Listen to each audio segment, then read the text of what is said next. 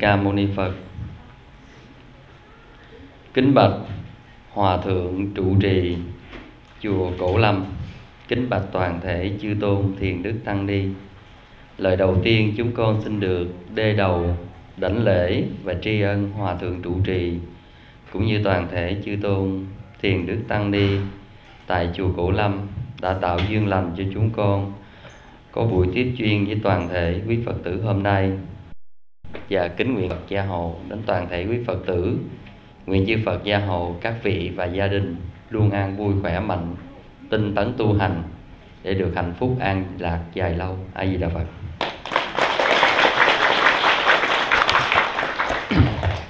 Xin thưa các vị, thì ờ, hôm nay chúng ta có duyên gặp lại nhau sau mấy năm xa cách mấy năm rồi? Hả? Ba năm ai có mặt trong cái buổi pháp thoại cách đây ba năm tôi đưa ra lên đây wow xin chân thành cảm ơn các vị. Tôi xem ờ, các đạo tràng thì nơi đây chúng ta duy trì được sĩ số tốt nhất. À, duy trì sĩ số tốt nhất. Để chúng ta có mặt một cách là tương đối đầy đủ. Còn đa phần thì các đạo tràng thì uh, có sự thay đổi rất nhiều. À, người cũ thì có duyên để đi nơi khác sau sao đó không biết. Hoặc là lớn tuổi nhưng mà mong rằng ít duyên về cõi phật sớm thôi. À, còn cơ bản nhất thì cũng có rất là nhiều người mới về tham dự với chúng ta. Thì à, cái đó cũng tùy nhân duyên giữa tôi và tất cả các vị. Cho nên là cái chữ duyên trong cuộc đời chúng ta xài tương đối nhiều đúng không? À, thì à, có những người gặp à, tôi ở các cái đạo tràng thì người ta hay hỏi thầy chừng nào quay lại mỹ? ở đây các vị có hỏi không? À, thường thường hỏi ờ, thầy chừng nào quay lại mỹ? Tôi có nói một câu bộ các vị cảm thấy chưa ngán sao? Ở đạo tràng đây ngán chưa? Hả? Chưa. Món nào mà ăn hoài nó sẽ ngán phải không? Thành ra lâu lâu mà quay trở lại cái vui mừng ờ, ước gì năm sau thầy quay trở lại. Cho thử thử năm sau quay trở lại coi không biết còn nửa giảng đường này không? À, tại vì ăn với nó ngán. Nó phải có những sự thay đổi. Thì à, trong những trường hợp vậy đa phần tôi trả lời sao? Hả? Ô giỏi các vị hiểu được ý tôi. Nói là các vị có cái tha tâm thông rồi đó. Nè. thì đa phần mà khi mà ai hỏi thầy à, sang năm thầy trở lại nữa không? Hay là thầy cố gắng sắp xếp sang năm trở lại? Thì tôi nói tùy duyên. Rồi cái bây giờ các vị biết rằng ngày hôm nay tôi có buổi nói chuyện tại chùa Cổ Lâm đúng không? Cái mình điện thoại mình gọi một số vị đạo bạn hay là người quen biết. Năm mai công thầy Phước Tiến giảng tại Cổ Lâm nè. Anh chị em bạn bè đó. Có đi à, đến tham dự không? Cái những người đó cảm thấy rằng cũng không muốn lắm à, hay là cũng chưa xác định lắm thì ở đầu dây bên kia trả lời chúng ta sao? Tùy duyên. Như vậy thì các vị có thể hiểu cái chữ đó nó mang cái nghĩa gì. Rồi ví dụ bây giờ á mình à, khuyên ai ăn chay niệm phật hơi lớn tuổi rồi à, già rồi à, tích cực tu học đi ăn chay niệm phật này kia cái nọ đi. Chứ làm sao bảy tám chục tuổi rồi cả đời bây giờ tạo nghiệp nữa ăn mặn rồi hoài vậy người đó cũng cảm thấy rằng chưa muốn ăn chay. À, lòng cũng vẫn còn thèm những cái món mà chúng ta đã từng quen mấy chục năm. Thậm chí cũng không phải là gì gì lắm. Thậm chí có những thèm như mắm rồi đó. À, những cái món đơn giản vậy nhưng mà nó là ký ức kỷ niệm thói quen rồi. Nghĩ đến ăn chay trời ăn chay rồi cái bỏ mắm sao trời. Rồi lỡ ta mơ mốt thèm sao chịu nổi. À, thành ra trong lúc đó nghĩ nghĩ hồi cái mới trả lời sao? Thôi tùy duyên. Như vậy thì bây giờ các vị cảm thấy cái nghĩa đó, đó nó đã được rất là phổ biến đúng không? Nó không còn cái từ mà ở trong Phật pháp không nữa. Xin hỏi các vị chữ tùy duyên là từ ngữ Phật học và từ ngữ thế học? Hả? Từ ngữ Phật học. Nhưng mà bây giờ nó đã được phổ biến nó trở thành từ ngữ của thế học tức là từ ngữ dân gian. Bây giờ dân gian hay sử dụng cái từ đó luôn. Dù con cái mình nó lớn lên. Rồi các bắt đầu có người khác mới hỏi, chị, con gái hay con trai lớn lên xong thành gia lập thất cho nó này kia, nó có gia đình, mặc dòng người này chả là phật tử gì hết trơn trời á. Rồi cái khi nghe bạn mình hỏi tại sao mà mình làm mẹ rồi con cái lớn rồi không thành gia lập thất cho nó này kia kia nọ, cho nó nên danh, nên phận mọi thứ với người ta để rồi chỉ còn yên ổn tuổi già à, không còn lo cho mấy cháu này kia kia nọ nữa. Rồi cái cái người này mà sắp xếp chưa có được chuyện đó hoặc con cái nó có lý do gì đó nó chưa có chấp nhận cái chuyện đó. Rồi cái người này trả lời sao? Thôi tùy duyên tụi nó đi. À, có phải không? Như vậy một người hoàn toàn không biết đến phật pháp mà thậm chí chưa đi chùa. Nhưng mà khi họ nói ra một cái từ ngữ hoàn toàn là từ ngữ phật học. Vậy thì từ ngữ đó nó có nghĩa gì? Cơ bản nhất là về mặt khách quan một cách chung chung chưa giải thích gì hết. Thì cái từ đó mang tính cách là nửa vời. Chưa chắc chắn cũng có thể mà cũng có thể không. À, như vậy thì chính cái từ nửa vời đó đó trong tiếng anh người ta hay dùng gì? Nửa vời người ta gọi là gì? Maybe. Maybe maybe là có nghĩa là có thể này mà có cũng có thể kia. Trời lâu lâu tôi cũng biết vài từ tiếng anh chứ không à, đi mỹ ghét là nó cũng quen quen hiểu không? Xin thưa các vị như vậy để chúng ta hiểu được đúng cái nghĩa từ này hơn thì hôm nay tôi xin chia sẻ với các vị một từ rất quan trọng trong Phật học mà nó trở thành dân gian hóa luôn rồi.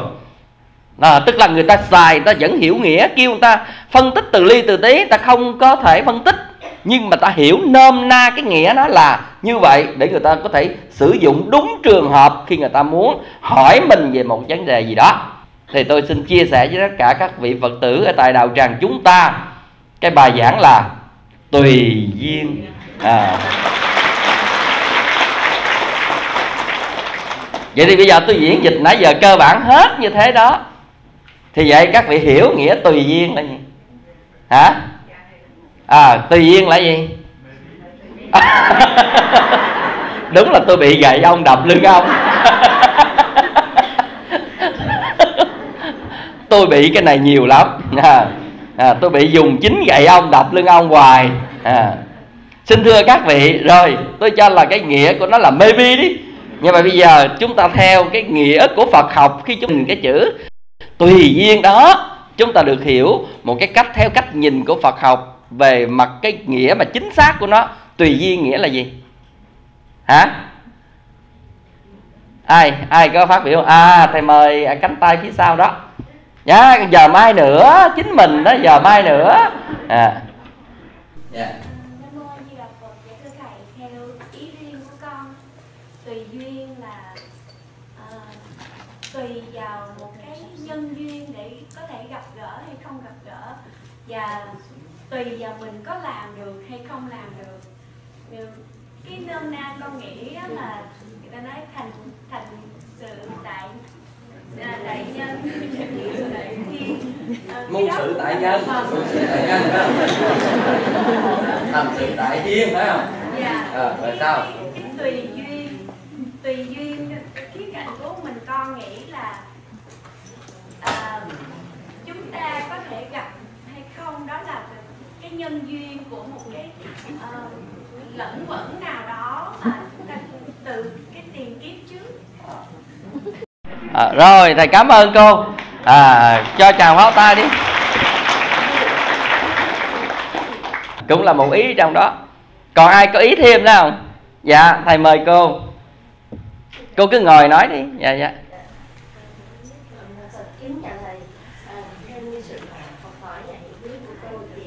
tùy duyên có nghĩa là tùy theo thời gian tùy theo hoàn cảnh tùy theo phương tiện bất cứ chuyện gì xảy ra trong đời này đều do cái duyên nó đến thì là nó đến nơi đó à cũng là một ý trong đó cho cô chàng pháo tay đi. À. Còn ai nữa không? Hả? À thầy mời cô.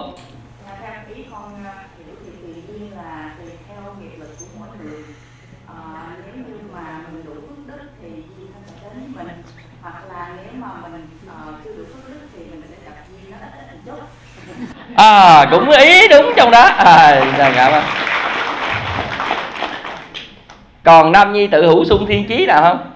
À những đấng mày đâu là có ý chí sông trời đất huống chiên cái đạo tràng vậy. Dạ có không? Dạ dạ, thầy mời. Dạ dạ thầy thầy mời thầy mời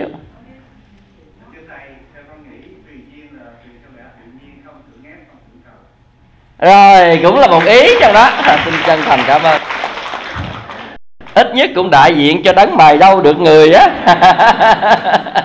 Xin thưa các vị, thầy cảm ơn hết tất cả những câu trả lời của các vị.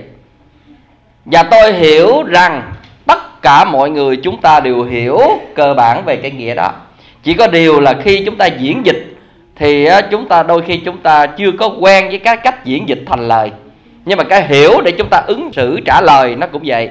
Giống như những người giỏi tiếng anh, nhưng mà họ quên tiếng việt thì thành ra trong một số trường hợp họ phản ứng họ hiểu bằng tiếng anh được nhưng mà kêu hỏi họ là à cái này nghĩa việt là gì? Thì họ trả lời nó, nó lừng khừng. Không có nghĩa là họ không biết nhưng mà họ chưa có quen cái từ ngữ Việt Nam lắm. Cho nên là khi hỏi lại cái nghĩa Việt thì họ bị ngần ngừ. Nhưng mà khi họ trả lời là tương đối là chính xác về cách cách hiểu của họ. Vậy thì ở đây tôi nói với các vị cái từ tùy duyên là một từ Phật học. Nó hoàn toàn là từ Hán Việt nhưng mà có thể chúng ta sử dụng viết là nó quen, nó trở thành việc hóa luôn. Là nhất là chữ duyên á. Là chúng ta sử dụng trong nhiều thứ lắm, như duyên phận hay là nhân duyên hay là này kia cái đó đó. Rồi kém duyên rồi này kia cái đó đây là chúng ta trở thành những từ ngữ rất phổ thông trong cái người việt của chúng ta. Nhưng mà nếu chúng ta tìm hiểu sâu thì chúng ta sẽ biết đó là một từ phật học mà đã được dân gian hóa rồi tức là người ta xài một cách rất rộng rãi và phổ biến. Chữ tùy là sao? Chữ tùy là nương theo đó. Là nó giống như tiếng anh là dependent đó. Tức là nương theo, nương tựa, tùy theo một cái gì đó. Duyên là những cái gì? Là những cái điều kiện. Tức là tùy duyên là tùy vào những cái điều kiện được cho phép. Nhưng mà khi nói là tùy duyên, tùy vào điều kiện, thì cái điều kiện đó nó có thể là điều kiện thuận mà cái điều kiện đó cũng có thể là điều kiện nghịch. Các vị nên nhớ vậy nha. Một từ ngữ đó nó mang cái nghĩa là nếu mà tùy theo cái duyên thuận thì gọi là thuận thuận duyên. Tùy theo cái duyên nghịch gọi là nghịch duyên. Vậy là tùy theo cái duyên thuận nó đưa mình đến cái mục đích hay là cái công việc, cái gì đó. Sự cho phép đó của mình nó mang cái nghĩa là phát triển tích cực, tốt đẹp.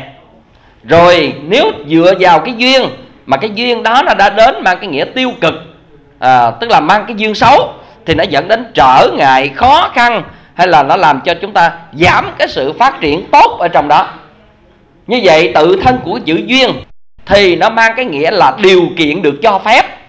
Nhưng mà cái điều kiện đó có thể là điều kiện tốt mà cũng có thể là điều kiện xấu. Như vậy nếu mà tùy theo cái duyên cũng có thể là duyên tốt duyên xấu đến với chúng ta như vậy thì có một số trường hợp họ dựa vào cái này. Nó cũng như sự phát biểu của các vị vừa rồi. Là tùy duyên là tùy theo cái điều kiện được cho phép rồi. Chúng ta như thế thì cái này quan điểm chúng ta hơi thụ động. Như bây giờ tôi nói với các vị, tôi gặp một số người phật tử. Thì tôi hỏi rằng các vị quy chưa? Thì các vị trả lời là chưa quy. Y hỏi là tại sao đó giờ chưa quy? Y thì các vị hay trả lời câu là chưa đủ duyên. À các vị chưa đủ duyên. Rồi thậm chí, các vị có những trường hợp lâu lâu mới gặp tôi. Thì các vị cũng từng nói rằng là, hồi trước con đi kiếm thầy rất nhiều lần nhưng mà chưa đủ duyên. À có nghĩa chưa đủ duyên để gặp. Thì những cái duyên như vậy nó mang cái nghĩa sao? Là cái mang cái nghĩa là điều kiện chưa đủ để có cơ hội gặp nhau. Vậy thì bây giờ tôi có trả lời, tôi nói đó một câu chúng ta đừng có quan niệm cái nhân duyên hay là cái duyên này, nó như là cái cái cái việc mà gọi là phó cho trời đất. Và đừng nghĩ cái duyên này là nó mang cái nghĩa như lục bình thả trôi sông. Có nghĩa là lục bình thả trôi sông thì sao? Nước lớn cái sao? Nước lớn cái nó chảy theo nước lớn chảy vô. Cái nước rồng cái nó theo nước rồng nó chảy ra. Tức là nó đi theo cái điều kiện của nước lớn, nước rồng thì chúng ta nghĩ à cái duyên mà nếu mà trời định tôi rồi cái điều kiện nó thả tôi đến đâu thì tôi sẽ nổi trôi đến đó. Nó thả tôi vào điều kiện tốt thì tôi ở điều kiện tốt. Nó thả tôi vào trong môi trường xấu thì tôi trở thành xấu. Nếu chúng ta hiểu nhân duyên như vậy, đủ chưa? À cái này là cái mà mà rất quan trọng.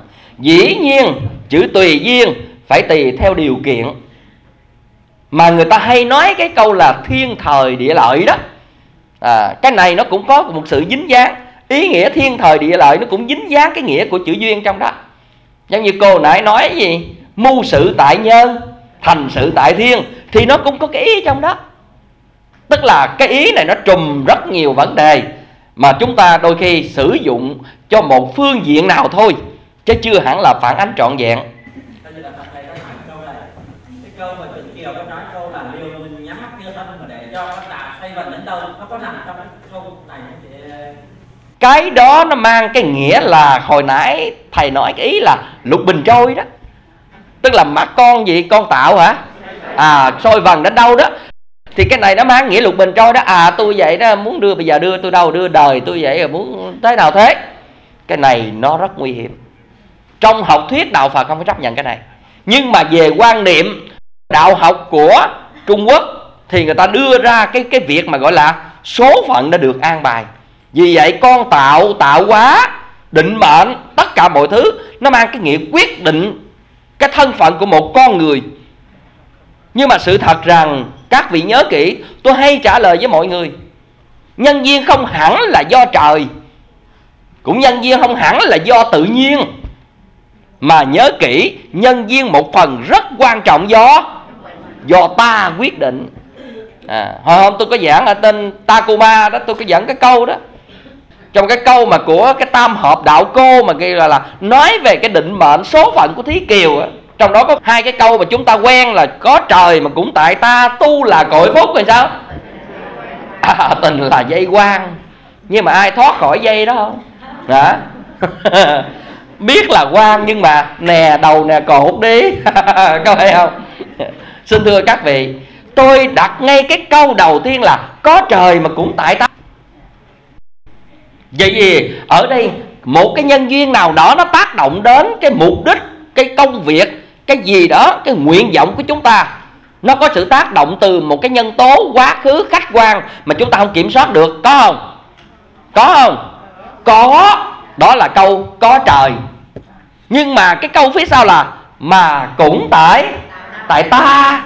Tức là ở đây cái yếu tố của ta quyết định về điều đó rất nhiều chứ ví dụ bây giờ ờ, chúng ta mà không có đến chùa, rồi cái chúng ta hay hỏi là ờ sao mà không đi chùa này kia kia nọ, lễ phật, tụng kinh rồi này kia để là giao duyên phước rồi này kia mọi thứ. Cái chúng ta nói sao?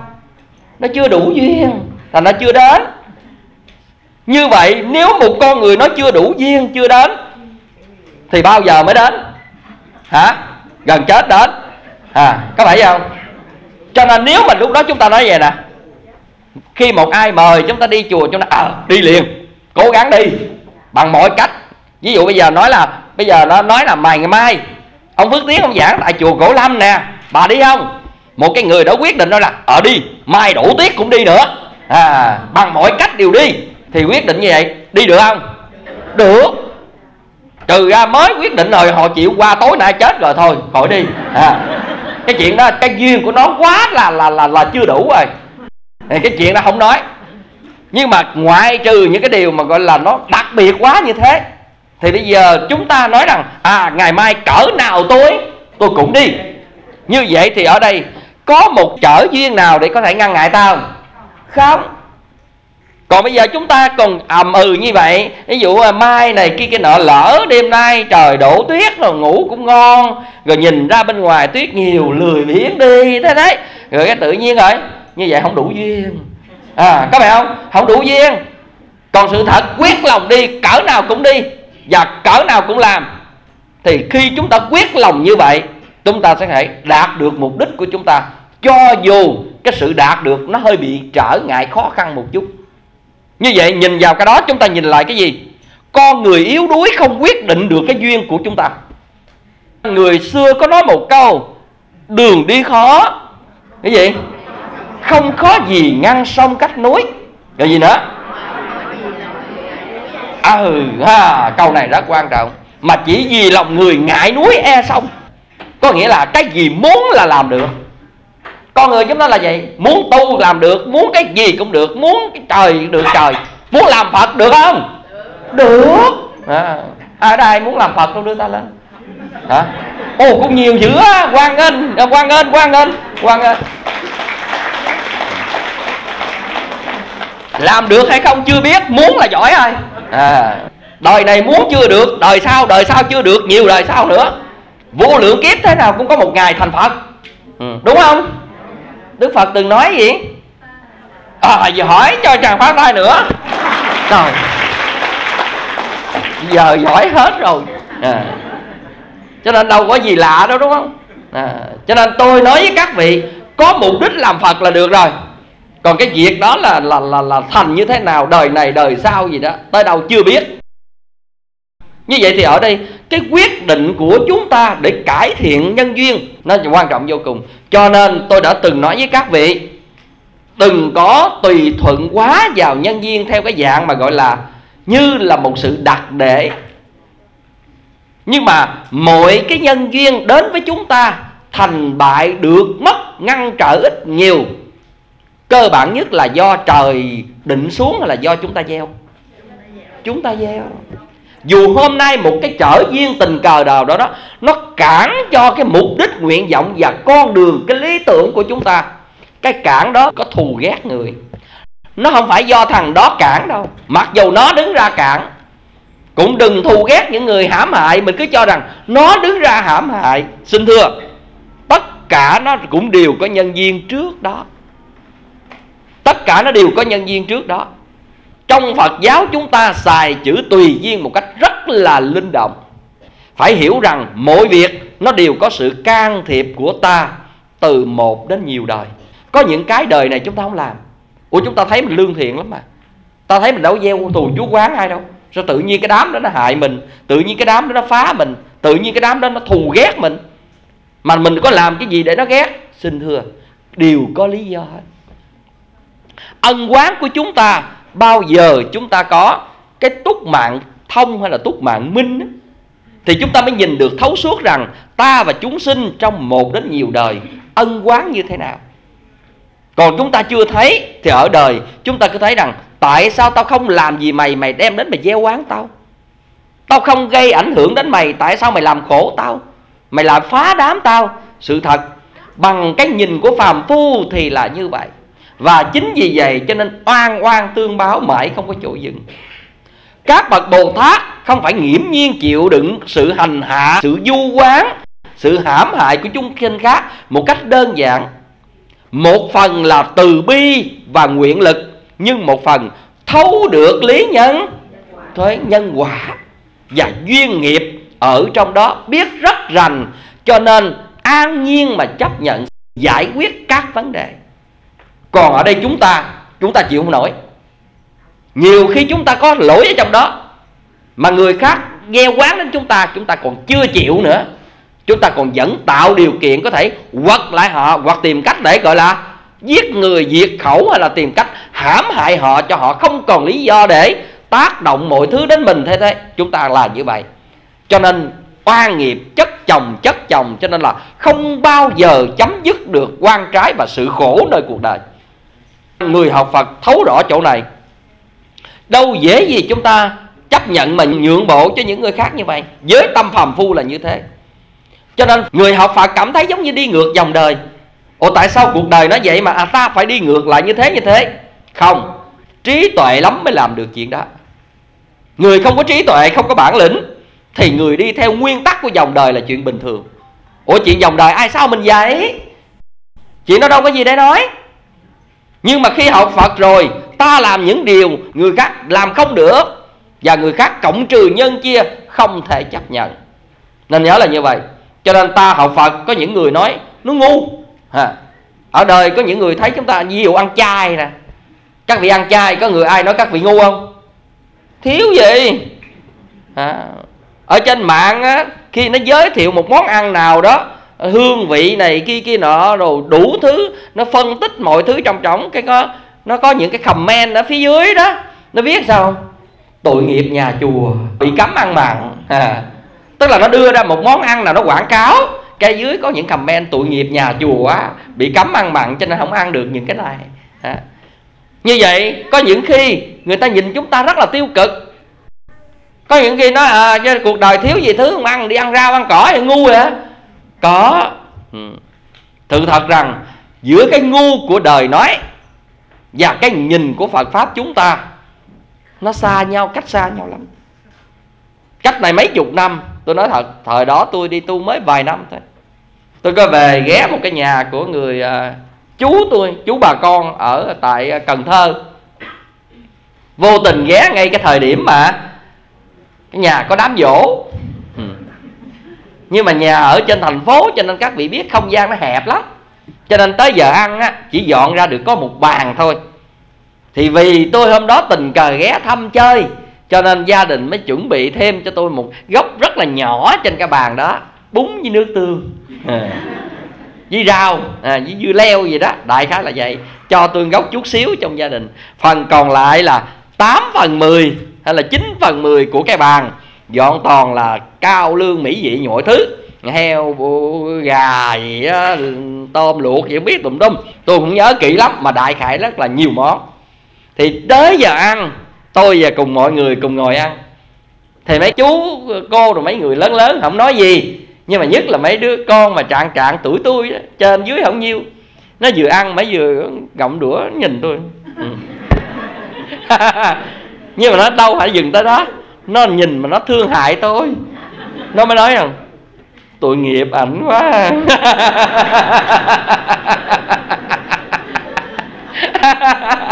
Các vị nó nhìn mà nó nói là tội nghiệp ảnh quá. Đó, tức là ở bà con ngoài nó chưa có quen, nó gọi tôi bằng anh đó mà đó. nhưng mà thật sự tôi cũng cười cười, nhưng mà trong lòng tôi suy nghĩ, không biết ai tụi ai à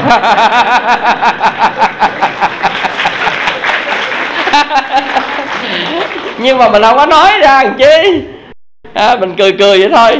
À, nhưng mà tôi tôi có suy nghĩ vậy. Sự thật rằng đó là chuyện bình thường. Giữa một người khi học đạo hiểu về một vấn đề nó khác với một người chưa hiểu về vấn đề. Tôi đã nói với các vị tại sao rất nhiều người chưa giác ngộ cái hành động cái suy tư và cái việc làm của họ nó khác? Nhưng mà khi họ giác ngộ rồi thì cũng chính con người đó, nhưng mà thay đổi hoàn toàn. Như vậy, thay đổi ở chỗ là con người đó có chuyển tâm thức giác ngộ, và giác ngộ cơ bản nhất là nhìn đúng gần với chân lý của Phật dạy, thì con người có sự thay đổi rất là tuyệt vời. Cho nên chữ tùy duyên trong Phật pháp thì nó cũng một phần để mà gọi là đợi chờ nhân duyên. Tức là khi nhân duyên đó không đủ cho mình là do gì? Do nhìn đầy đủ các yếu tố, bây giờ cái duyên của nó đang là như thế, chưa đủ để mình thực hiện một vấn đề, thì mình có thể chờ đợi. Thì cái đó cũng là một phần tùy duyên. Nhưng mà còn cái cơ bản nhất, cái gì thuộc trong tầm tay ta quyết định, mà chúng ta không quyết định, có nghĩa là chúng ta yếu đuối. Chúng ta yếu đuối, chúng ta kém quyết đoán trong mọi vấn đề. Vì vậy, cái nghĩa tùy duyên chúng ta phải nhìn rất khi nào chúng ta sử dụng tùy duyên là phải đợi chờ cơ hội. Tùy duyên có nghĩa là đợi chờ cơ hội hay là chúng ta gọi là chờ thời cơ đó. À, thì cũng có một phần là tùy duyên. Nếu chúng ta thấy thời điểm đó chưa thuận lợi ở đây từ cách thấy bằng cái nhìn nhận trí tuệ sâu sắc để thấy duyên chưa đủ. Mà nếu chúng ta tác động vào để duyên đủ hơn thì có những cái việc mà gọi là cái nhân duyên đó nó sẽ đến một cách tích cực hơn nhanh hơn cái mà chúng ta gọi là chờ đợi. Cho nên người xưa nó là chờ đợi sung rụng á. À, cũng là một trong những cái để nói đi cái sự yếu đuối của chúng ta trong một quyết định vấn đề. Nhưng có những vấn đề bằng mọi nỗ lực chưa hẳn quyết định được thì chúng ta sẽ lúc đó sẽ nói câu là chưa đủ duyên. Bởi vì có những cái chúng ta không đủ sức. Mặc dù chúng ta cố gắng hết sức nhưng không đủ sức ví dụ như một tảng đá quá lớn chúng ta chưa đủ sức để khuynh nó mặc dù chúng ta đã cố hết sức mình rồi thì bây giờ chúng ta đợi cái duyên nó có hai cái.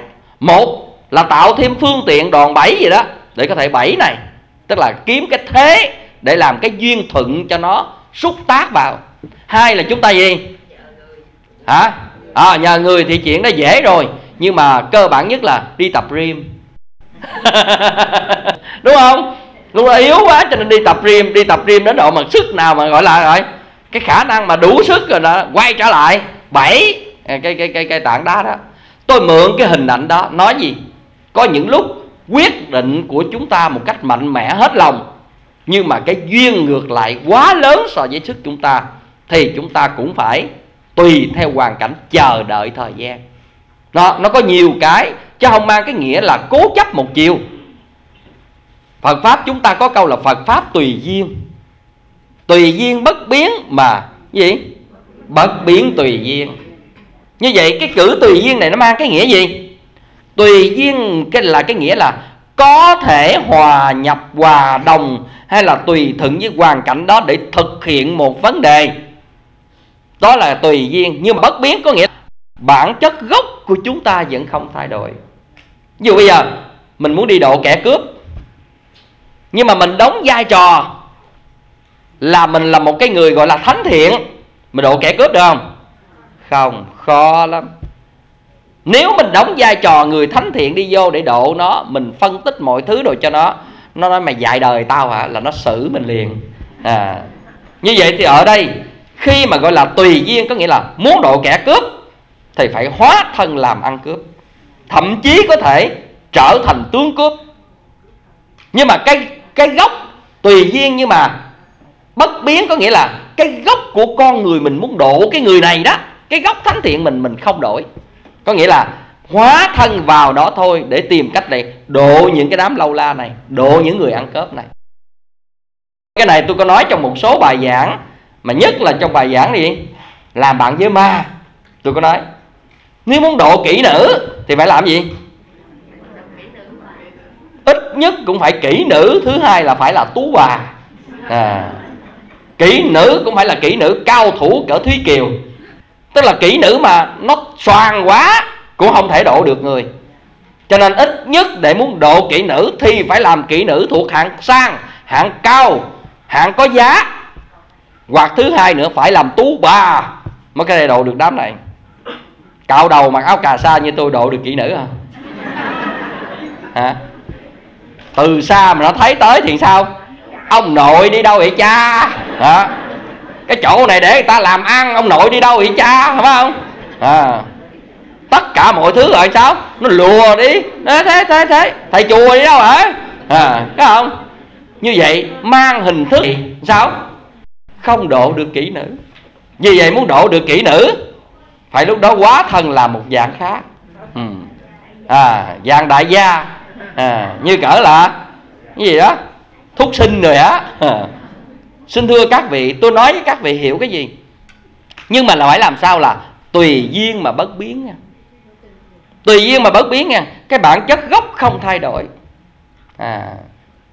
Cho nên á, các vị thấy rằng có những điều mà gọi là trong Phật pháp xài cái chữ tùy duyên rất linh động ngày xưa khi tổ huệ khả đi vào những nơi vũ trường những nơi gái điếm tất cả những nơi vô trong chợ thì có nhiều người nói là ông là người tu ông là người được mà kế thừa tổ vị tại sao ông đi vào trong những chỗ này?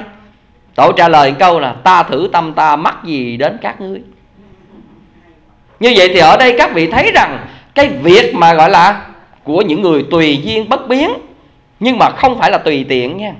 À, cái hàng mà gọi là cảm thấy rằng là mình như viên kim cương mà thảy vào hầm phân vẫn không thấm thì cái nghĩa tùy duyên bất biến rất là tuyệt vời. Nhưng mà ngược lại cái nghĩa bất biến tùy duyên có nghĩa là đừng quá cố chấp vào khuôn thước hình thức.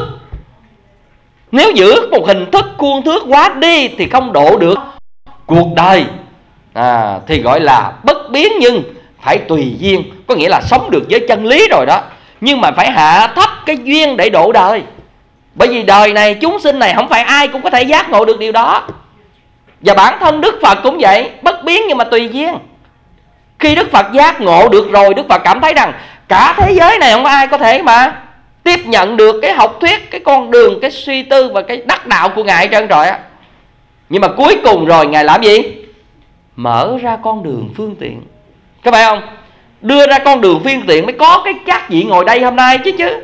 Các vị ngồi đây hôm nay là là là là bồ tát hay là phàm phu? Hả? Các vị đang ngồi lại là gì? Cơ bản nhất là những người phật tử thọ năm giới thôi. Ở trên đây mấy người thọ bồ tát giới đưa tay lên này. Một, hai, ba. Ờ thì cũng có một số bồ tát thôi. Còn cơ bản nhất là phàm phu. Có phải không? Tôi không có nói cái gì mang cái nghĩa là người cư sĩ phật tử năm giới này là đức phật phương tiện đó. Đức Phật nói rằng như vậy không lẽ đạo cao thâm này rồi không giác ngộ rồi bỏ rơi chúng sinh?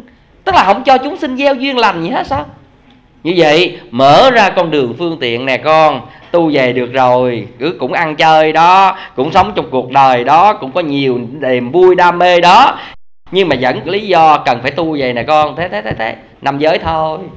Đó, đó là cái cách gọi là phương tiện. Như vậy cái đó là gì? Tùy duyên. Tức là tùy điều kiện tùy cái tâm nguyện của chúng sinh trên lộ trình tu học mà đưa ra những phương thức mà cho nó phù hợp để đưa người ta về với đạo.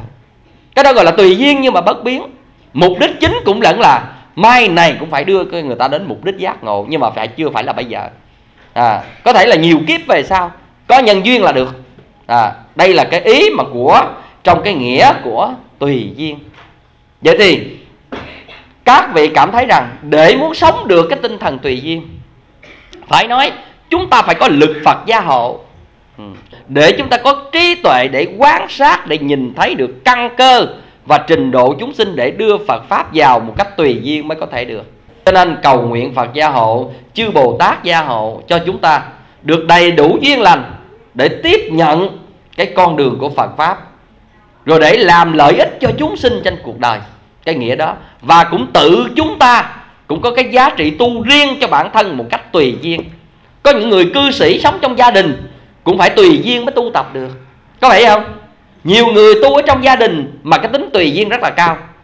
Có người là vợ, có người là chồng, có người là con. Nhưng mà những thành viên còn lại đâu hẳn là có thể tôn trọng cái chuyện tu tập của chúng ta đâu ví dụ bây giờ chúng ta dọn cái bàn thờ ra chúng ta tụng kinh mà gia đình chúng ta nó chướng duyên là nó có những người không đồng tình thậm chí là những người ngoại đạo. Rồi bây giờ chúng ta cứ là là là tao làm cái này không có sai. Tao tu mà tao làm gì sai mà phá tao. À rồi cho nên là cứ dọn ra hoài dọn thời gian nó, nó quánh lộn ra em nó đổ bàn thờ nó dẹp hết. Rồi mình nói rằng à, chướng duyên mà nó khảo tôi như thế thế thế thế. Cái này chúng ta lại bướng bỉnh cố chấp. Nếu chúng ta học cái dạng tùy duyên là thật sự mà nói đã quyết tu rồi cũng không cần bằng phật à, nếu trong lòng là như vậy ở nhà nó không chịu thôi. Không chịu không cần. Nhưng mà lòng có phật. Vẫn tu theo phật vẫn sống theo hạnh phật dạy. Nhưng mà cũng vẫn êm ấm hài hòa tất cả mọi thứ. Cái đó gọi là gì? Tùy duyên. Tức là tùy thuận những nhân duyên như vậy. Rồi cái cách sống chúng ta làm sao cao đẹp hơn để giúp cho mọi thứ nó chuyển đổi bằng cái tâm của chúng ta, giúp cho người khác nhận ra được những điều mà chúng ta muốn họ nhận. Thì chính vì vậy, cái cách đó gọi là sống tùy duyên chứ không mang nghĩa là cố chấp. Cho nên có những người cố chấp, tu học mà tự đổ vỡ gia đình, cái đổ thừa, tại tôi tu theo Phật. Cái đó nó không đúng không đúng nha. Cho nên là các vị cảm thấy rằng khi học tu theo Phật là phải có trí tuệ cầu Phật gia hộ cho con đầy đủ tâm lực để trí lực và duyên lành, để con có thể thực hiện được điều này. Để con có thể sống tùy duyên trong một cái gia đình, thậm chí gia đình là ngoại đạo, gia đình là sống ác, gia đình là người không biết phật pháp. Thế thế, nhưng mình là người biết phật pháp vẫn tùy duyên để tồn tại được. Mà nếu mà người tùy duyên khôn khéo, người tùy duyên mà có một cái nguyện tốt, thì sẽ độ được những người thân trong gia đình hướng về phật pháp trong một ngày gần hoặc một ngày xa à, cho nên đây là điều mà rất là quan trọng. Vậy thì trở lại vấn đề. Chúng ta thấy cái cách sống tùy duyên không phải là chuyện dễ. Ngày xưa trần nhân tông có một cái bài thơ là cư trần lạc đạo phú. À, tức là một bài phú có bốn cái câu là như vậy. Ở đời vui đạo hải tùy duyên. Ừ. hễ đói thì ăn mệt ngủ liền. Của báo đầy kho thôi tìm kiếm đối cảnh vô tâm, chớ hội thiện. Cái bài nữa văn hán là cư trần lạc đạo thả tùy duyên, cơ tắc sang hề khốn tắc miên. Gia trung hữu bảo hưu tầm mít, đối cảnh vô tâm mạc vấn thiền.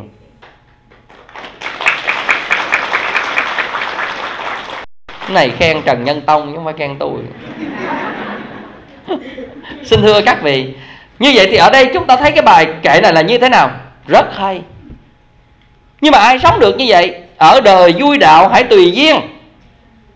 Sống giữa trong cuộc đời, sống giữa phồn qua đô hội, sống giữa tham dục buộc ràng, sống giữa đối thủ sân si, sống giữa bao nhiêu kẻ thù, sống giữa bao nhiêu cám dỗ dục lạc, làm sao sống được vậy đạo? Cái này dễ hay khó? Khó vô cùng. Cho nên nói ở đời vui đạo hãy tùy duyên rồi ở đây chúng ta thấy rằng à, ví dụ như mình nói mình tu nhưng mà gặp nhậu nhảy vô nhậu. Gặp chỗ nào à, nhảy đầm nhảy vô nhảy đầm. À, gặp chỗ nào làm gì đó cái người ta hỏi ông tu mà làm gì? Ở đời vui đạo tùy duyên. À, à, phải không? Hả? Ừ. xin thưa với các vị thì cái này cũng trở thành cái bình phong cho những người sống phong túng. Nhưng mà câu của những người giác ngộ nói là cái câu chính xác chính vì vậy mà kinh duy ma có một câu là, tuy sử cư gia bất trước, tam giới thị hữu thê tử thường tu phạm hạnh. Cái câu này người nghe không hiểu. Tuy sử cư gia bước trước ta, mặc dầu ở trong cái nhà thế tục như vậy đó, nhưng mà không bị ràng buộc trong ba cõi. Rồi thị hữu thê tử thường tu phạm hạnh, mặc dầu có vợ con đó, nhưng mà bản thân vẫn tu trong sạch. Cái này không ai hiểu có vợ con thì thành ra là sống ô nhiễm. Thì tại sao gọi là thường tu phạm hạnh được? Như vậy thì ở đây cái nghĩa này nó cho chúng ta cái điều gì? Cái nghĩa này là nếu là viên kim cương thì thảy vào hầm phân cũng không thấm. Nhưng mà liệu ta là kim cương chưa? À coi ta kim cương hay là napkin tissue? À, nếu mà chúng ta ở napkin thì sao? Hả? Đụng đâu dính đó. Ừ. Bởi vì thậm chí người ta chế ra để lau nước mà. Xin thưa các vị, nói về để cái gì? Cái nghĩa nó là có đó, nhưng mà ai nằm trong nghĩa đó? Cho nên cái câu ở đời vui đạo, hàng bồ tát cho nên chúng ta không khéo, chúng ta lấy cái câu đó, chúng ta cho rằng chúng ta sống bừa giữa cuộc đời, nhưng mà chúng ta vẫn sống với đạo. Cái này chưa đúng. À ví dụ bây giờ tôi nói là cỡ mà gọi là cỡ tế điên á. Thì ăn thịt chó và uống rượu thì vẫn là vẫn là thánh. Nhưng mà tôi ra đường, tôi ăn thịt chó với uống rượu, thì tôi làm sao? Tôi đi xuống địa ngục ngồi. Có phải không? Bởi vì tôi chưa phải là kim cương. Cho nên các vị biết rằng cũng là cùng là một hành động. Rồi người ta nói như vậy, rồi chúng ta lấy cái đó làm bình phong, chúng ta lại trật. Chúng ta lại trật. Chưa đến đó mặc dầu sự thật nó là như vậy. Bởi vì khi sự thật trong cuộc đời cuộc đời là gì? Cuộc đời là phù hoa giả tạm à. cái gì cũng giả trơn á. Mà cái giả thì không thể không thể thật. Và cái giả thì nó không thể chi phối. Nhưng mà ở đây, vì chúng ta chưa phải là người, gọi là giác ngộ được lẽ thật để thấy rằng cuộc đời cái gì cũng giả. Chúng ta không đủ trình độ chưa đủ tâm chứng để nhìn như vậy. Nhưng tôi cũng nói cho các vị thấy, cái nghĩa tùy duyên trong đạo phật rất là sâu rộng. Cho nên chính vì vậy, ngài trần nhân tông mới nói là, ở đời vui đạo hải tùy duyên. Nhưng mà ngài là gì? Ngài thuộc về dạng tổ rồi. Ngài nói bằng những cái cái cái cách của người giác ngộ rồi. Cái người mà hòa quan đồng trần đi vào trong cuộc đời, nhưng mà không nhiễm bụi. Nó là cái điều này rất là quan trọng hãy đói thì ăn mệt ngủ liền, coi như là sống, thuận theo cái quy luật như vậy. Đói ăn mệt ngủ, vậy thôi. Nhưng mà chúng ta có đói ăn mệt ngủ không? Hả? Thì đói cũng ăn vậy, nhưng mà ăn của chúng ta ăn khác mệt chúng ta cũng ngủ, nhưng mà ngủ kiểu khác thấy không?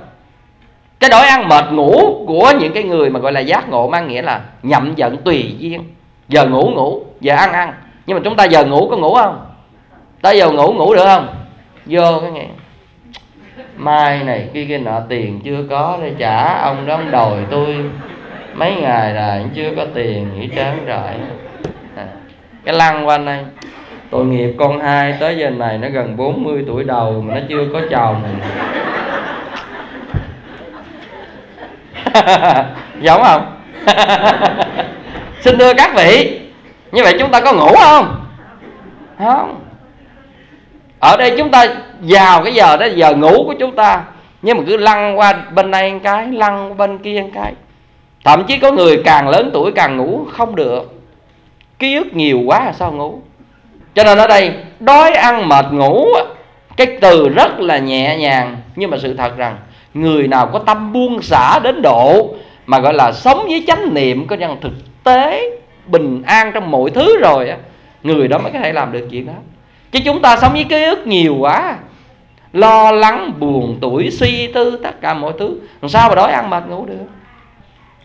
Vậy thì, cái nghĩa này rất quan trọng. Còn hai câu thuộc về nói về chuyện tu thiền, miễn bàn ở đây đi. Cái đó là một lĩnh vực sâu. Mình bàn nhiều, nó đi nhiều lĩnh vực. Lay nhây, họ không biết cái điểm chính chúng ta nói là gì. À vậy thì bây giờ trở lại vấn đề, cái nghĩa tùy duyên trong đạo phật nó là như vậy. À. tổ lâm tế có một câu tùy duyên tiêu cụ nghiệp. Ừ, nhậm vận trước si mi. À, tùy cái nghĩa của tiếng việt là tùy duyên tiêu nghiệp cũ. À, tùy thời mặc áo xiêm. Như vậy thì cái câu này mang nghĩa gì? Hết sức tùy duyên. Trời lạnh mặc áo gì? Hả? Trời lạnh mặc áo cánh hả? À không có trời lạnh mặc áo ấm. À rồi giờ trời nóng mặc cái gì? À, trời nóng mặc áo cánh ví dụ vậy như vậy thì bây giờ trời nóng mà mặc cái áo ấm vô người ta nói gì? Ấm đầu hả bà?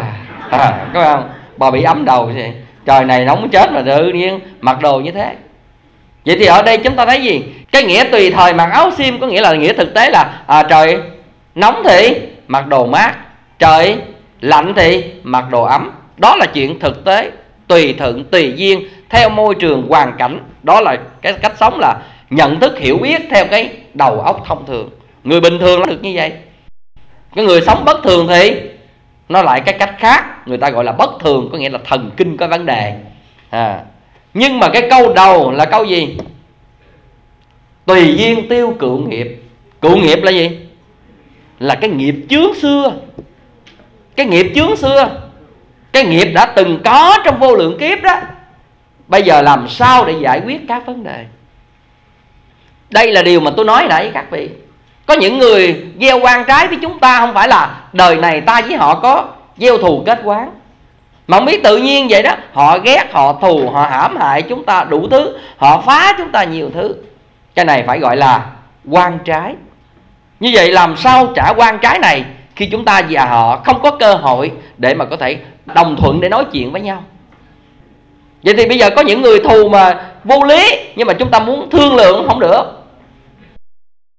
như vậy thì ở đây cái nghiệp cũ của chúng ta là một trong những điều mà rất là đáng sợ. À, vì vậy trong nhà tu người ta cho chúng ta một phương thức để giải quyết vấn đề nghiệp này có thể không trực tiếp nhưng mà gián tiếp thông qua chính chúng ta. Bằng cách gì? Sám hối nghiệp chướng. Đây là trong 10 hạnh phổ hiền vốn có. 10 hạnh phổ hiền nó câu gì? Tứ giả sám hối nghiệp chướng phải không? Như vậy cái nghĩa sám hối nghiệp chướng của ngài phổ hiền, nó không đơn giản như để tìm một cái cuộc sống bình an đâu. Nhưng mà ngang cái nghĩa của lý tưởng các bồ tát giải quyết các vấn đề ân quán tình thù để mà đưa người đó về con đường giác ngộ. Phải nói là hạnh nguyện của phổ hiền rất lớn. Nhưng mà ta chưa được cái hạnh nguyện đó, thì chúng ta cũng cần phải có những cái hạnh phúc tương đối của một con người sống trong cuộc đời này. Ở đời này chúng ta thích khổ vui? Hả? Ở đời này thích khổ hay vui? Vui. Ai mà thích khổ là là kêu ambulance đi vô bệnh viện kiểm tra cái đầu. À có nghĩa là không ai thích khổ, nhưng mà khổ vẫn diễn ra. Phải không? Như vậy là các vị không thể nào xài đồng tiền một mặt. Khổ đau là mặt trái của cuộc đời. Như vậy thì đồng tiền nó có mặt thuận, mặt nghịch như vậy có thể nào chúng ta trẻ ra nửa đồng tiền chúng ta thích xài cái mặt thuận chúng ta đưa tiền ta, ta để ta lấy một mặt không? Hả? Không. Như vậy thì mình phải chấp nhận điều đó. Chấp nhận hạnh thì phải chấp nhận khổ đau. Không có cái gì chỉ là hạnh phúc mà không có khổ đau. Và ngược lại cũng không có cái gì chỉ là khổ đau mà không có hạnh phúc. Bởi vì cuộc đời tương đối vốn như vậy. Nhưng con người chúng ta bị khổ đau, dồn dập. Chúng ta có thấy mình bất hạnh không? Có thấy mình tuổi thân không? Như vậy, một người sống mà khi bị khổ đau, dồn dập cũng tuổi thân, cũng bất hạnh vậy. Vậy thì mặc dù cuộc đời vô thường, các pháp hiện hữu chỉ là tương đối, nhưng mà tương đối ở mức độ ta cũng có những giây phút thư giãn nhẹ nhàng để cảm thấy rằng nó bớt đi những cái áp lực quan trái trong cuộc đời, cũng là những giây phút mà gọi là được bù đắp một kiếp người vậy. Như vậy nếu sống toàn là khổ đau, không mệt lắm, nhưng mà không thể. Nhưng mà để chờ đợi nó giải quyết theo dạng là, thôi tùy duyên đi, thì cái này cũng rất là khó cho chúng ta. Vậy thì hãy tạo những duyên để mà chúng ta tu tập để cải nghiệp. Sám hối nghiệp chướng là một trong những cái hành động mà gọi là rất quan trọng mà các bậc tổ mà nó thật sự, đưa ra cái phương thức này, ai đã từng có cái cái tập luyện tu hành theo cái phương pháp sám hối rồi các vị sẽ thấy. Nhiều sự thay đổi biến chuyển mà chúng ta không thể ngờ chỉ thông qua cái việc đó. Tôi nói cái này các vị cảm giác như là một sự mê tín. Nhưng mà làm gì mê tín được? Không thể mê tín. Đây là một sự thật. Không hẳn lý giải theo dạng cộng trừ nhân chia, nhưng mà nó có tác dụng có những gia đình, những đứa con hư dạy không được. Dĩ nhiên cơ bản nhất là chúng ta phải đầy đủ các điều kiện để dạy nó rồi. Nhưng mà dùng hết các pháp, vẫn không thay đổi. Bản thân người đó chỉ điều thực hiện duy nhất là quan trái giữa cha mẹ và con cái. Nó vốn có cộng nghiệp.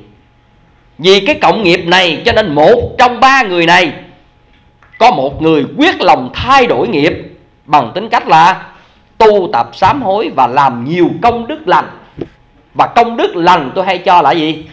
Là nước. Còn ác nghiệp là gì? Là muối. Nếu nước nhiều thì muối tự loãng. Vậy thôi. Vậy thì chúng ta không biết chúng ta đã gieo bao nhiêu lượng muối trong quá khứ.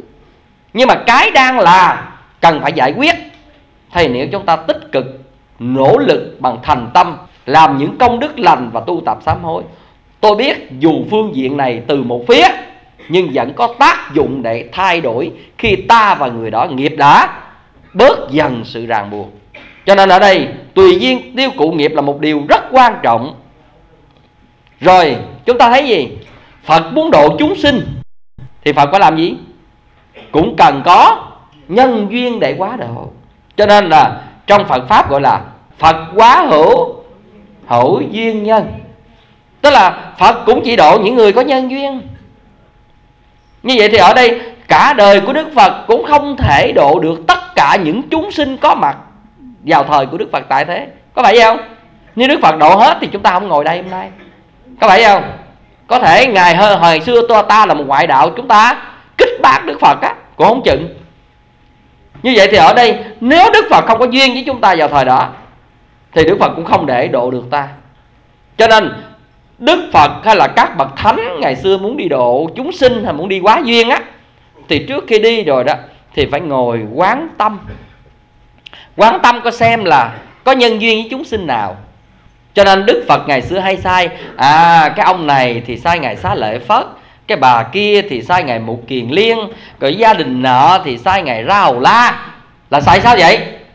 Ngài thấy được nhân duyên những người đệ tử này có mặc dầu ngài là người có cái công đức lớn, một cái cái đạo đức mà gọi là ai cũng kính ngưỡng, nhưng mà cái điều ngài không có nhân duyên với những chúng sinh đó, ngài lại quá độ không được.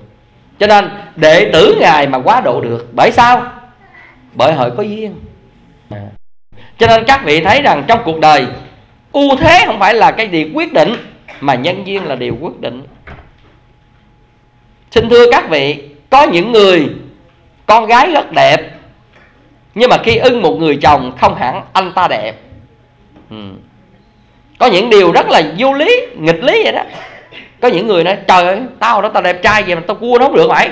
À, còn cái thằng đó nó trả ra gì chứ mà sẽ cuối cùng á nó cưới được. Sự thật rằng nếu nhìn về dân duyên nghiệp duyên khó nói. Ừ. khó nói. Có những khi chúng ta ưu thế nhưng mà duyên chúng ta với người đó không đủ.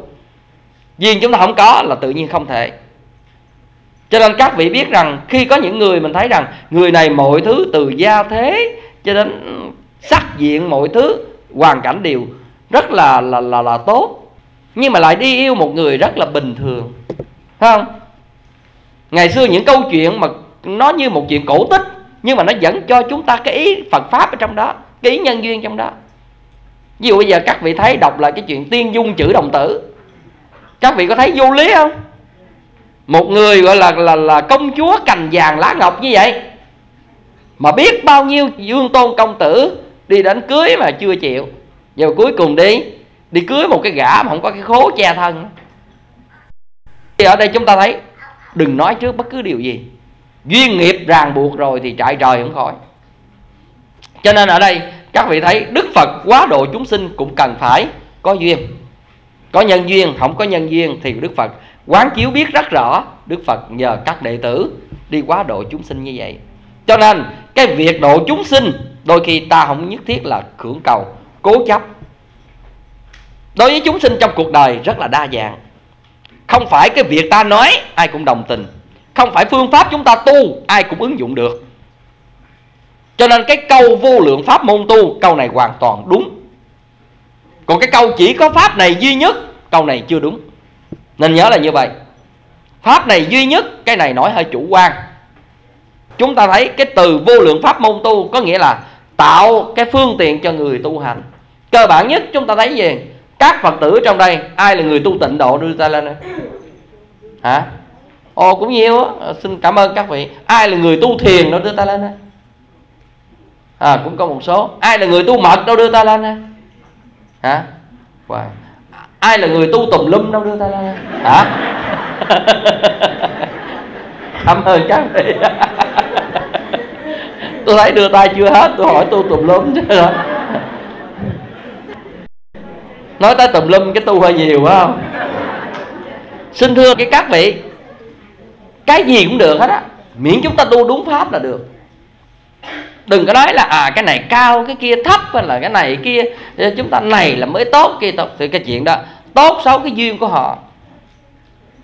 Nếu mà họ tốt như cái suy nghĩ của mình, thì thật sự không còn chuyện gì để nói. Và lúc đó, nó cũng phải là trần gian. Cho nên ở đây, cái chuyện mà gọi là đưa ra nhiều phương thức tu hành, đó là việc của chúng ta. Duyên của ai thì tu theo cách đó. Ví dụ như bây giờ, có những người ta thích tu tịnh, mà chúng ta kêu họ tu mật hoặc là kêu tu thiền, nói họ là cãi lộn á. Đừng nói nữa nha nó họ có chuyện á, cái chuyện đó kệ tôi à. Có phải không? Bởi vì cái nhân duyên của mình nó nó như vậy á. Rồi cái nhân duyên của mình thích cái này, cái mình nghĩ rằng ai cũng phải thích giống mình sao? Giống như bây giờ các vị, có những cái món ăn các vị ăn rất là ngon, các vị thấy rất là thích. Rồi các vị nghĩ rằng ai cũng thích giống như các vị rồi các vị đem như giới thiệu, cái người ta ăn, người ta ẹ, người ta nhăn nữa. Rồi bắt đầu chúng ta tự ái à, xin thưa cái ngon của chúng ta nhưng mà không phải tất cả mọi người ngon giống nhau. Không? Chúng ta thử đem những cái món đặc sản của chúng ta như mắm rồi đó chúng ta giới thiệu với phương tây. À, đó giới thiệu đi. Đặc sản tôi này ngon lắm mà quý lắm á. À, cái này thế thế thế. À, thấy cái biểu hiện của người ta là các vị biết. Ừ. cho nên là tôi từng ở ấn độ tôi tôi tôi biết mà. Khi mà những cái đồ mình ngon mình giới thiệu với người ta ta không được. Nhưng mà họ cũng sách cái ngon của họ giới thiệu mình mình ăn được. Ừ.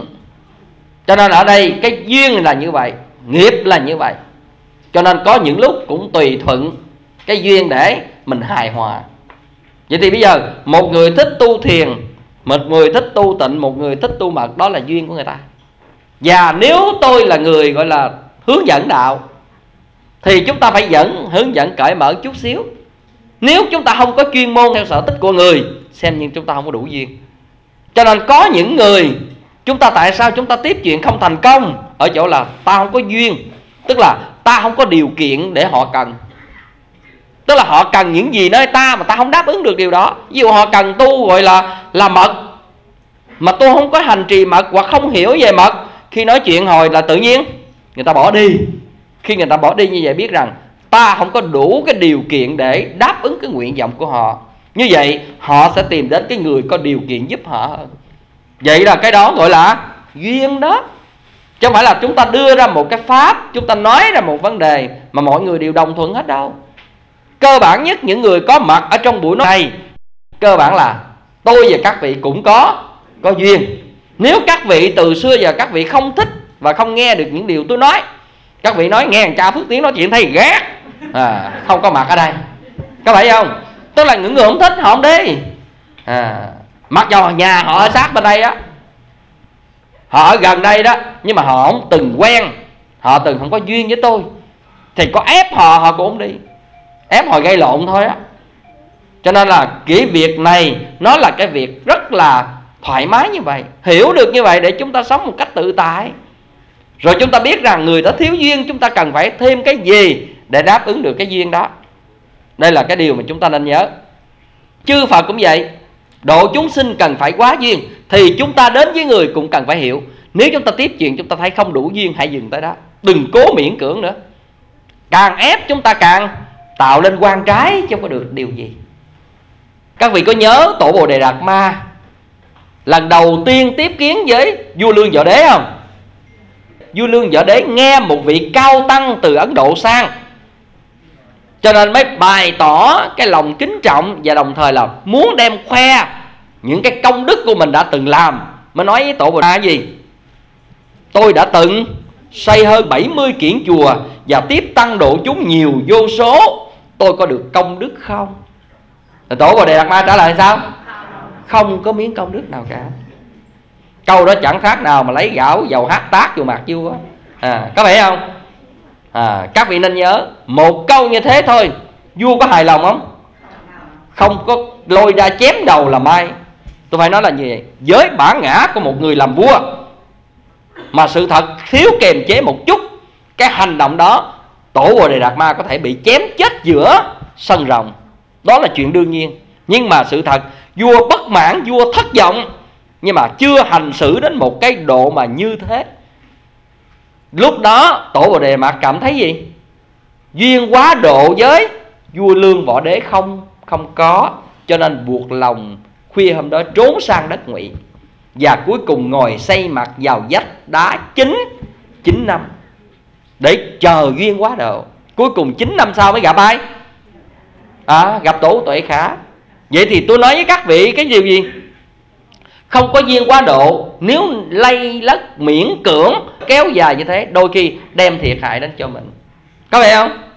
Tổ huệ năng, sau khi thừa y bát của tổ hoàng nhẫn, có phải đi ra liền không? Không. Mình làm gì? Đi vô rừng trốn và sống cùng với đám thợ săn. Có phải không? Từng ăn rau luộc trong trong nồi thịt, có người nói tổ còn ăn như thế. Xin thưa, chẳng qua là tùy duyên thôi. Không? Tùy duyên để tồn tại thôi. Chứ có bận lòng gì chuyện đó. Nhưng mà sống phải ăn chứ. Và sống ở trong một cái đám thợ săn. Mà ngồi đó mà ăn chay thì sao? Nó cắt cổ mình đó có phải không? Cho nên ở đây, chúng ta phải tùy duyên trong những hoàn cảnh đó. Tổ huệ năng cũng vậy. Duyên chưa tới, phải sống tùy duyên với thợ săn. Cùng ăn, cùng sống và làm nghề gì? Cũng làm nghề thợ săn. Cũng giữ giềng lưới cho cho thợ săn. Vậy thôi chứ bây giờ biết làm sao giờ? Vậy thì muốn độ ai, muốn cái gì phải tùy thuận lấy. Chứ lúc đó nói tôi là tổ, thật sự mà nói, nó giết liền. Đâu phải giỡn đâu. Cho nên các vị thấy, duyên chưa tới, ngài phải ẩn cả mười mấy năm chung sống với thợ săn như thế.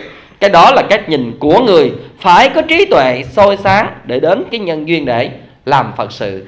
Vậy thì ở đây, chúng ta nhìn vào tất cả những cái việc mà của chư tổ chư phật đã làm. Và chúng ta lấy cái đó được gì? Để chúng ta ứng dụng cho chính bản thân mình. Rồi có một từ mà chúng ta hay dùng nữa là hết duyên. Có nghe từ này chưa? Ví dụ có những cái phật tử từng đi chùa này nhưng mà đến ngày mình thấy vắng lâu quá họ không đi. Cái hỏi ủa anh chị hay cô chú vậy á? Sao thấy lâu quá không có đến chùa? Cái nói gì? Hết duyên chùa đó có phải hết không hả? À, gặp làm một cái vị thầy mà mình đã từng gần gũi phụng sự mình làm việc với thầy đó. Đến một giai đoạn tự nhiên mình quay lưng lại một trăm phần trăm. Thậm chí mình còn lại là trở thành kẻ có ác cảm với các thầy đó nữa. Cái lúc mà mình hỏi tại sao vậy? Cái nói hết duyên rồi. Ờ. Có phải không? Ờ à, chúng ta hay xài chuyện đó tùy duyên rồi hết duyên. Các vị có chắc hết duyên không? Hả?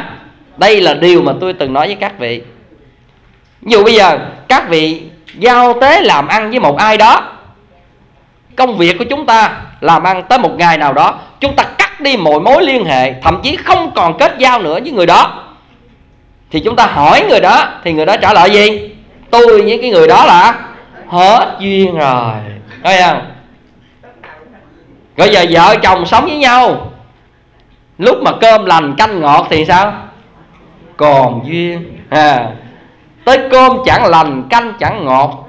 Rồi tới lúc mà ra hòa lý dị thì sao hết duyên rồi. Chắc chưa? Xin thưa với các vị còn sống chung với nhau hay không sống chung với nhau các vị đừng cho là hết duyên. Có những người mà chia tay nhau các vị biết không? Họ hận thù nhau ghê lắm. Ngày xưa thì yêu thương cái gì cũng được trăm bề dễ tới còn hết yêu rồi thì sao? Trăm bề khó. Có phải không? Yêu thì cái gì cũng cũng xấu thành tốt. Mà hết yêu rồi thì gì? Tốt cũng thành xấu. Cái đó là một sự thật.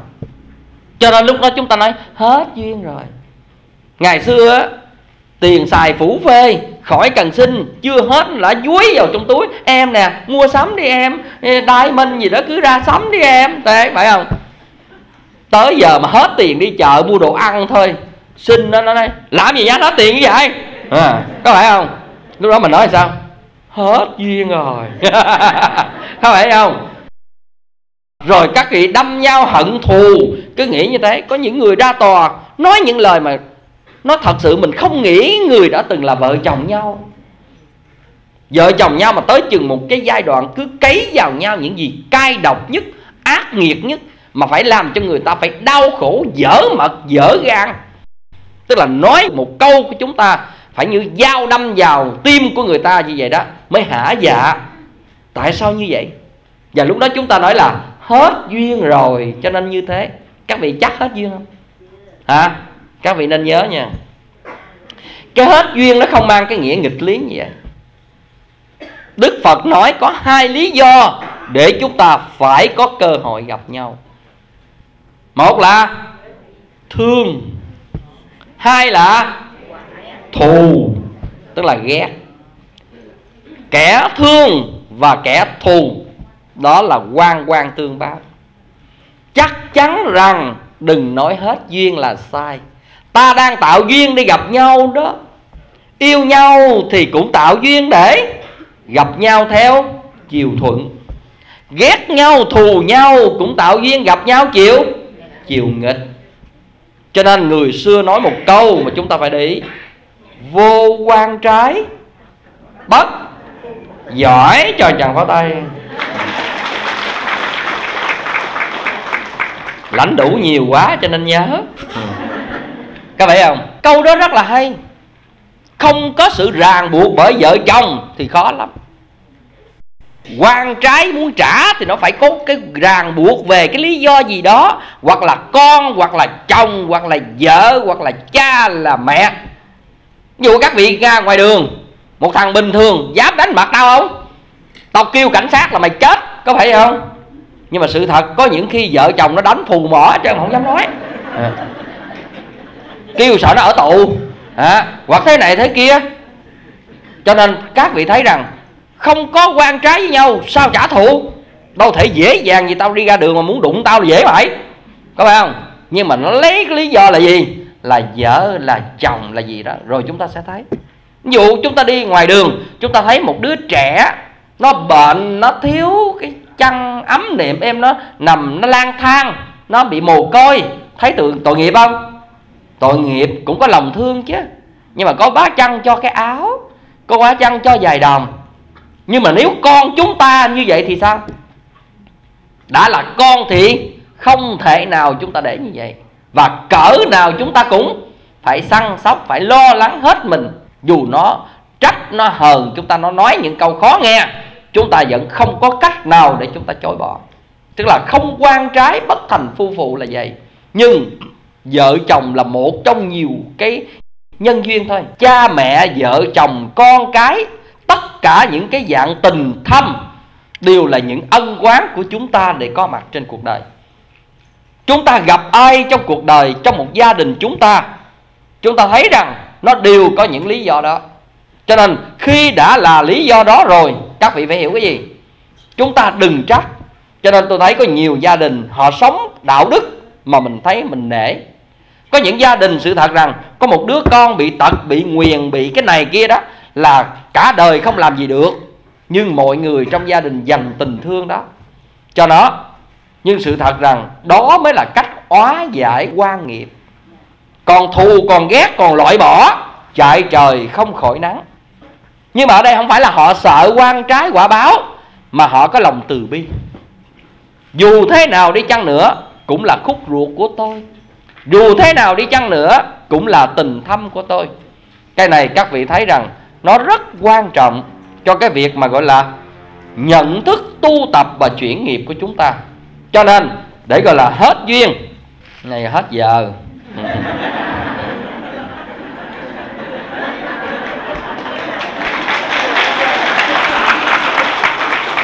À, hết giờ cũng là cách hết duyên á. Tạm hết duyên. À. thì bây giờ tôi nói một vài ý nữa cho các vị thấy. Như vậy thì nhận ra được điều này, chúng ta phải hiểu như thế nào. Quán chiếu nhân duyên, người học phật chúng ta sẽ giải quyết được các vấn đề nó nhẹ nhàng bằng trí tuệ hơn và đạo đức hơn. Nếu chúng ta thấy hết duyên, chúng ta nhìn về đức phật. Khi đức phật tu giác ngộ, thì các vị biết rằng đức phật đã hết duyên tái sanh. Có phải không? Đức phật từng tuyên bố trong các kinh sao? Sanh đã tận, phạm hạnh đã thành, việc cần làm đã làm ta không còn tái sanh vào cõi đời này nữa. Hết duyên chưa? Như vậy, lúc đó ngài hết duyên tái sanh. Vậy là một khi ngài đã nhập niết bàn, thì lúc đó ngài hết duyên gì? Hết duyên quá độ chúng sinh trên cõi đời. Vậy thì ở đây, chúng ta thấy khi nào hết duyên, dứt phiền não mới hết duyên. Dứt quan trái nghiệp chướng mới hết duyên. Còn chúng ta còn sanh tử, còn luân hồi. Dĩ nhiên, còn quan trái hoặc ân tình hoặc thù hận. Chúng ta phải có nhiều lý do để gặp nhau trong cuộc sống luân hồi này. Cho nên là gặp mặt nhau cũng xem như là duyên, còn hận thù quan trái. Cái chuyện đó là chúng ta có cái trí gọi là túc mạng mới nhìn ra được cái vấn đề này. Vậy thì qua cái bài tùy duyên, người phật tử chúng ta hiểu ngữ đó. Và chúng ta chỉ rằng khi nào chúng ta có thể cách sống tùy duyên để chuyển nghiệp, cách sống tùy duyên để cảm thấy nhẹ nhàng cách sống tùy duyên để quá độ chúng sinh. Đây là một việc làm linh động của chúng ta, tùy cái khả năng giác ngộ của chúng ta. Tôi xin dừng bài giảng lại tại đây. Lời cuối cùng xin chân thành cảm ơn các vị đã dành thời gian đi đây quý lắng nghe. Mời các vị khởi thân hồi hướng. Ừ. nguyện